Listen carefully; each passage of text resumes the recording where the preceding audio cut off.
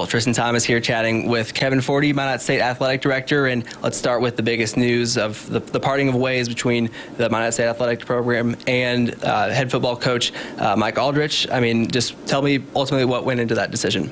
Well, there's a lot of uh, conversations that had between myself and uh, the president, Dr. Shirley. Uh, we talked for quite a few weeks about uh, the, the program, the state of the program, where we want to see that thing headed. I, I talked to Coach Aldrich um, and some other members of the, the president's staff and some other people that I, um, my mentors, and, and, kind of figured out that at the end of the day, it was time to make a change. Uh, you never want to make those decisions. Those are things that you never look forward to, but um, it was time to make a change to get some um, new energy into the program.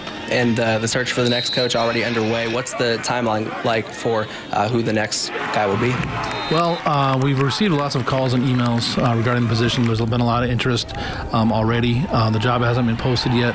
Once the job gets up on the websites and the, on the different uh, social media areas, um, we'll have, have so many days. We got to keep it open for state law, and then uh, evaluate what we what we have coming in. I'm going to be recruiting some people to apply for the position, and uh, we'll kind of see how, how that goes and, and who we can be interested in coming to Minot and Minot State University. And ultimately, what are some of the, the traits you're looking for in the, the person who's going to be the next head coach? You know, that's a tough question to answer because there's whole, so many factors when it comes to a coach and what um, their their strengths and weaknesses are.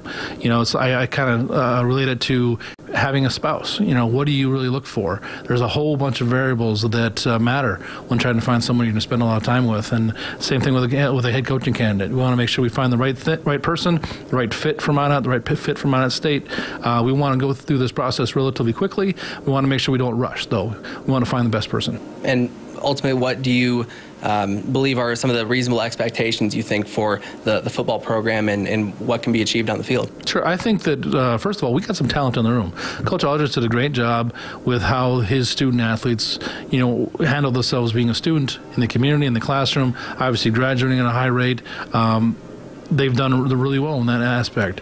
Um, now it's time to take that next step, bring some new energy into the room, and see what we can do. Because, like I said, there's talent here. We got to make sure that we can bring out the best uh, with the people that we have on, on, on campus. And obviously, a big thing in, in college sports and especially in football is that the transfer portal is, is a is a, a, trait you're maybe looking for as someone who could utilize that portal uh, in, at this level. I think uh, utilizing every uh, recruiting um, connection that person might have is, is important. Whether that be um, uh, traditional high school, which we obviously want to do that as well, but we also look at transfers. And being in the transfer portal versus two year versus four year transfers, that coach is going to have to have um, expectations to go in and look at what's in there and what's out there because you know there's not every person in the transfer portal is person we want to have at Minot, but there might be some that would be a good fit for us. Yeah, and also your first fall sports season here at in in, in the position, not your first within athletics, of course. Of course. But uh, what what did you kind of learn, and what were some of the major takeaways from from that first fall season? Well, you know, I really um, I've been doing this for a long time. I've been doing this for 20 plus years, and what what really excited me, what really kind of was surprising to me, was the community support. I really did not expect the the city of Minot, the surrounding community, to be as um, supportive as of Minot State. Um, like I said, I've been in this conference a long time.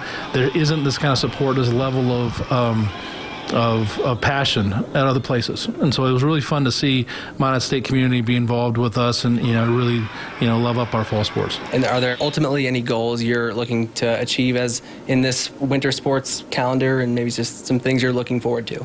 Well, I think that we got some really high quality programs in this winter. Our men's hockey program was number one in the country. Women's program is I think they were top five um, the last poll. Men's and women's basketball are really exciting. Uh, they're both having uh, very good starts their season. Um, they're fun to watch. They're uh, they get after. They can score some points, and they can they can do some damage in this in this conference, which is obviously very high quality basketball. And then we got our two wrestling programs, and our wrestling program also is strong. And so I think our winter sports season, I'm expecting big things, and I hope everybody gets a chance to come out and, and, and watch because it's a, it's a lot of fun, and we try to put on a good show, and we're only going to get better. All right, Kevin, appreciate the time.